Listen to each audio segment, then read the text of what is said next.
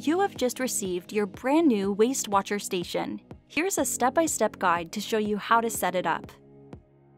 Start by placing your containers in order and lining up the pre-drill markings side by side at the back. If you purchased connectors to maintain the stability of your station, you will want to install them first.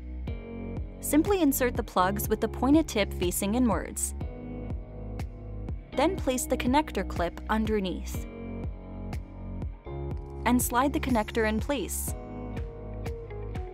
Signage is the perfect way to increase stream visibility. After hooking the empty sign frame onto the back of the container, hold it in place so that the pre-drilled holes on the container line up with the holes on the frame. Push the corresponding plugs through the holes from inside the container. Line up the protective sleeve with your signage and slide them into the sign frame.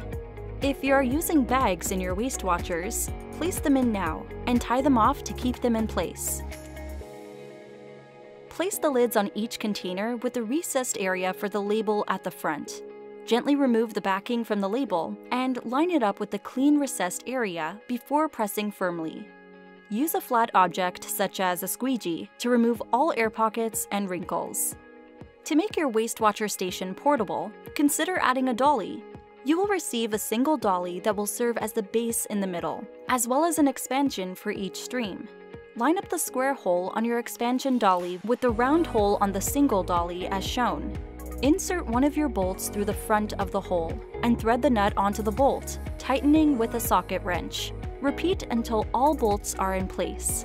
Continue the same process for all expansions that you require, keeping the single dolly in the middle as the base.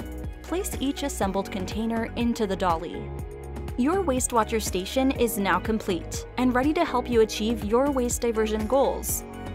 For care and maintenance of the container, wipe it down regularly with a dry cloth or add soap and water to clean. Use a hose or pressure washer to clean it thoroughly if necessary. Busch Systems goes beyond the bin to help you build a top-notch recycling program. Contact your sales representative to learn more about how our team can help you exceed your diversion goals.